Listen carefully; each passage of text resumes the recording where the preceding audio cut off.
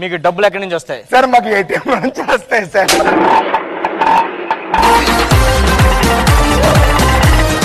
వీడికి ఐస్ పెడితే సార్ నేను ఈరోజు ఉపవాసం సార్ నేను ఈరోజు ఉపవాసం సార్ తిన్నాను సార్.